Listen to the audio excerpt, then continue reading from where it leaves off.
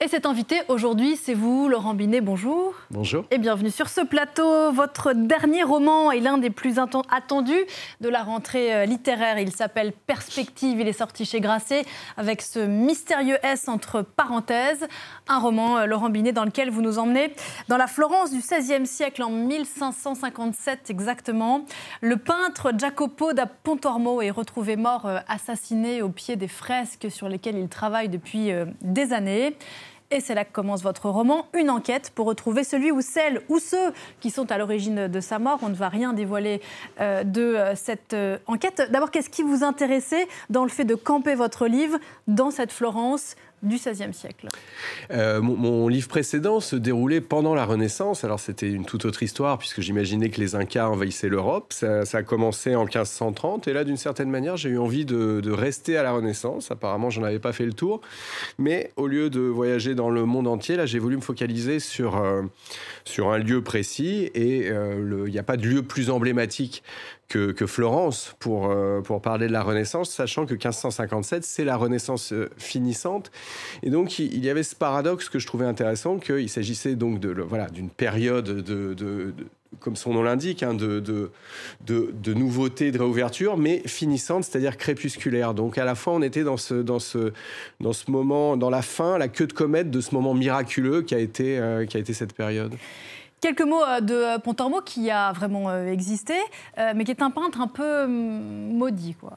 Absolument, c'est la version maudite de, Michel-Ange. C'est celui à qui on avait confié la tâche de peindre des fresques dans l'église de San Lorenzo, la grande église des Médicis à Florence, pour rivaliser avec la chapelle Sixtine.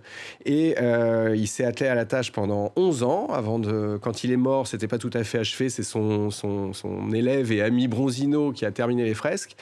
Et on ne saura jamais si ces fresques égalaient la chapelle Sixtine parce qu'elles ont été, elles ont, la mode, la mode était passée, les fresques n'ont pas plu, elles ont été laissées à l'abandon et au XVIIIe siècle, on a refait toute la chapelle, on a tout détruit, on n'a plus aucune trace si ce n'est quelques quelques dessins préparatoires de Pontormo. Donc il y a cette, ce, enfin, ce, mythe du, du bon du chef-d'œuvre inconnu mm. euh, dont on saura jamais rien. Voilà pour le décor. Cette enquête prend la forme d'un roman épistolaire entre une vingtaine de narrateurs qui gravitent autour euh, de cette enquête, euh, dont euh, Giorgio Vasari, qui est le premier historien de l'art, qui est l'enquêteur d'une certaine façon, Catherine de Médicis, qui est alors reine de France, et le maître, bien sûr, Michel-Ange. Ils vont s'échanger à eux tous plus de 170 lettres.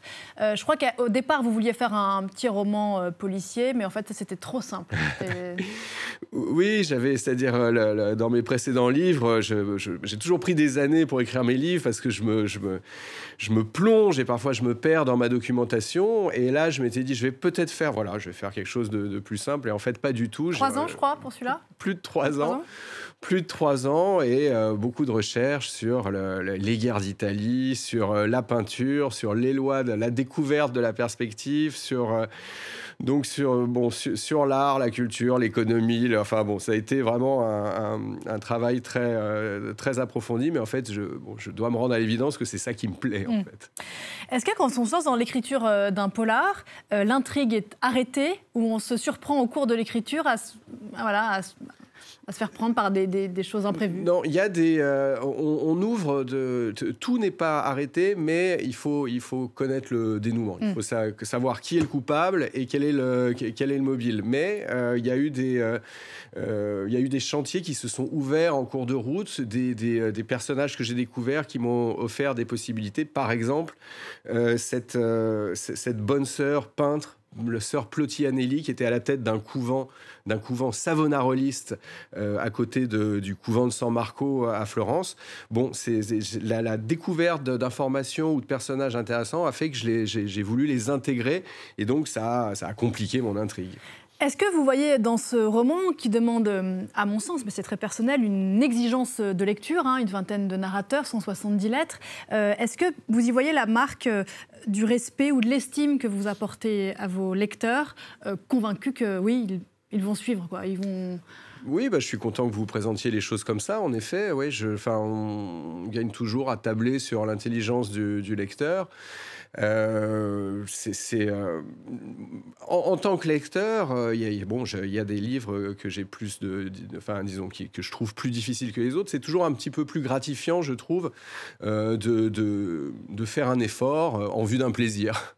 Et y compris d'ailleurs dans l'écriture, parce que je crois que vous utilisez des codes couleurs pour euh, euh, écrire, parce qu'avec tous ces locuteurs, il ne faut pas se perdre évidemment euh, dans le fil sur la forme. Le roman aborde plusieurs questions qui résonnent aujourd'hui. D'abord, la condition des femmes autour d'une Catherine de Médicis qui est exceptionnelle dans le livre, drôle, machiavélique, qui est extrêmement lucide et qui raconte qu'être une femme de pouvoir à cette époque et d'argent d'ailleurs ne vous épargne absolument aucune, aucune horreur. Quoi, non, et à la limite, au, au contraire, c'était presque pire quand on était fille de prince, parce que on, avait de la valeur et on était une mauvaise monnaie d'échange. Et Catherine de Médicis, comme sa nièce Maria de Médicis, qui est un autre personnage du livre, ont été, euh, ont été vendues. Euh, Catherine de Médicis à François Ier, puisqu'elle a épousé son, son fils cadet. Euh, c'est amusant de voir que Catherine de Médicis, qui a eu ce, destin, cet incroyable destin de femme d'État, n'était pas destinée à régner. Maria de Médicis, elle, était promise au duc, euh, au duc de Ferrare, Alfonso d'Este, qui était un horrible personnage. Et donc, euh, bon, c'était. dans mon livre, j'explique que les, les, filles, les, femmes de, de, les filles de princes étaient des pièces qu'on déplaçait sur l'échiquier des empires et que même si elles n'étaient pas sans valeur, euh, elles n'étaient pas libres de leur mouvement. Et donc ça vaut des échanges euh, dignes des liaisons dangereuses entre ces deux femmes qui sont assez euh, savoureux. Autre question très intéressante, c'est le débat esthétique, puisqu'on est dans un moment d'une forme d'inquisition esthétique menée par l'Église. C'est à peu près à ce moment-là qu'on rhabille les nus de la chapelle Sixtine de Michel-Ange. Et ça aussi, ça résonne aujourd'hui. Oui, c'est incroyable. Enfin, c'est-à-dire quand j'ai quand j'ai commencé mon livre, j'ignorais tout ça. Je ne savais pas que Michel-Ange avait vu sa chapelle Sixtine menacée par le pape Paul IV de l'époque, qui était un, un, horrible inquisiteur, qui n'aimait pas l'art ni les livres, et, euh, le, et, pas du tout voilà, et pas du tout les gens nus dans les dans les églises. Et le compromis qui a été trouvé pour sauver la chapelle Sixtine a été de voiler euh, par des, espèces de foulards, de, serviettes, euh, de, de, voiler les, les, personnages de, de la de la chapelle Sixtine. Et c'est vrai que le, bon, quelques temps plus tard a, a, éclaté le scandale de la réécriture de, des, œuvres de Agatha Christie, de Roald Dahl. Et dans les, dans, dans les deux cas, je trouvais que c'était un type de, censure particulièrement vicieuse qui consistait pas seulement à censurer, mais vraiment à maquiller, à trafiquer et à barbouiller, barbouiller sur les œuvres. Et euh, enfin, c'est très étonnant que bon, voilà, le, c'était euh, que le pauvre Michel-Ange ait été confronté à, ça, c'était déjà terrible, mais que 400 ans, 500 ans plus tard, euh, on en soit encore là, je trouve ça. Et qu'on parle notamment de ces sensitivity readers qui sont, qui sont, qui doivent débusquer dans les manuscrits, ce qui pourrait affecter, qui est une notion incroyablement vaste. Ouais, Et comme le dit l'écrivaine. Lionel Shriver, euh, ôtez vos sales pattes sensibles de nos œuvres. Et c'est ce qu'aurait pu dire euh, Michel-Ange. C'est ce que vous, revendiquez aussi. Vous aimez l'histoire, euh, Laurent Binet, avec un grand H. Vous vous, vous y êtes frotté, bien sûr, dans vos romans précédents. HHHH notamment, euh, Civilisation, euh, qui a eu le, prix Goncourt euh, du premier roman, si je ne me trompe pas. Voilà. Quelle est la relation que l'écrivain que vous êtes a avec l'histoire, puisque vous vous autorisez, dans celui-ci précisément, mais c'est dans le cas aussi dans Civilisation, à la distordre? Disons que j'ai un, un, rapport de fascination tout à fait effrayé vis-à-vis de l'histoire, parce que, enfin pour moi, c'est ce que je disais dans HHHH, l'histoire c'est la seule véritable tragédie parce que euh, on peut pas revenir en arrière, on peut pas revenir en arrière et on peut essayer de la réécrire si on veut, mais euh, la réécrire, ce sera, la, la, ce sera toujours, ce sera jamais au, sens métaphorique, c'est-à-dire que euh, ce, qui, est fait est fait. Voilà. Et donc ça, pour moi, c'est vraiment la définition de la, tragédie et certains de mes livres, je les écris comme une forme de de, comment dire, de, fantasme, de consolation, mais qui ne fait que renforcer ce constat. C'est-à-dire que je peux imaginer autant que je veux que les Incas ont envahi l'Europe, rien ne fera, euh, ne, fera changer euh, l'histoire qui est que Christophe Colomb a, découvert l'Amérique et qu'à sa suite, les, conquistadors ont façonné notre monde tel qu'on le connaît parmi, parmi des milliards de, possibilités. C'est ça qui me, vraiment qui me trouble, c'est euh, parmi tous les mondes possibles, notre, notre monde est, euh, est, le seul qui, est, qui soit advenu. Mais là, comment est-ce que vous autorisiez d'une certaine façon le droit de pas de réécrire, mais d'histoire encore une fois l'histoire. Pontorno, par exemple, qui a vraiment existé, on le disait, n'a jamais vrai, été... n'est pas mort, n'est pas mort assassiné, c'est vrai, mais dans celui-ci, contrairement à Civilisation, où j'avais vraiment tout bouleversé et tout renversé, celui-ci respecte tous les événements historiques. Alors, à la différence que Pontormo est bien mort à la date où il est mort, tous les autres personnages sont euh, meurent dans mon livre quand ils doivent mourir.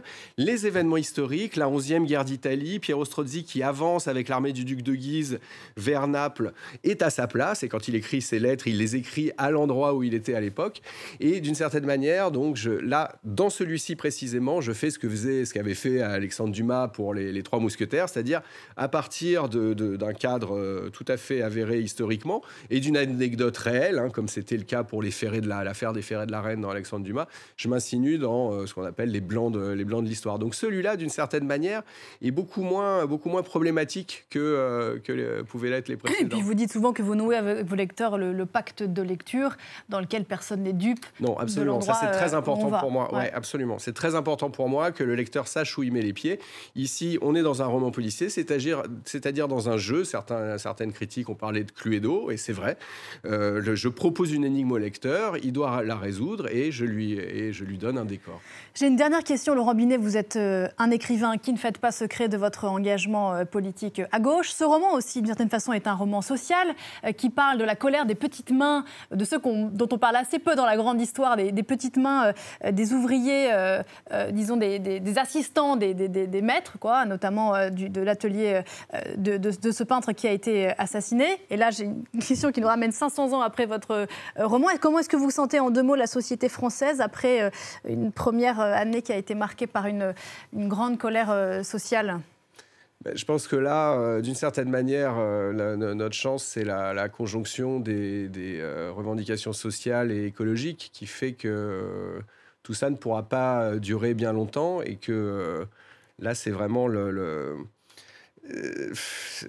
d'une certaine manière, là maintenant, c'est la révolution ou la mort, parce que dans le train, le, à bord du train fou dans lequel on est lancé, euh, on voit bien que le mur, le mur se rapproche, on voit bien qu'il fait très très chaud, et que si on réforme pas de fond en comble le système, euh, ça, va très mal finir. Bon, la révolution à la mort, vous reviendrez pour nous en parler plus en détail. Merci infiniment, c'était euh, c'était traître de ma part en fin d'interview. Merci Laurent Binet. Perspective donc chez Grasset, un roman assez génial à lire à lire avec exigence, euh, je trouve, mais qui nous emmène dans des endroits merveilleux. Merci beaucoup. Merci à vous. Très bonne journée à vous. On se retrouve euh, après la pause avec Damien Coquet. On est très en retard, paraît-il.